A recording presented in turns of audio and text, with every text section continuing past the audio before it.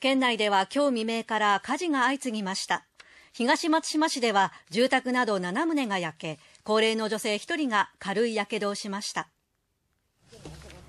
消防によりますと今日午前3時40分ごろ東松島市矢本で家が燃えていると付近の住民から消防に通報がありました。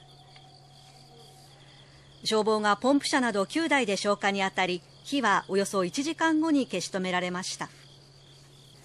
この火事で木造平屋建ての住宅など4棟が全焼したほか3棟の一部が焼け住人の80代女性が背中に軽いやけどをし市内の病院に搬送されました。このほか午前5時半ごろには上町で民家の敷地内にある物置が焼ける火事がありました。怪我人はいませんでした。いずれも警察と消防が出火原因を調べています。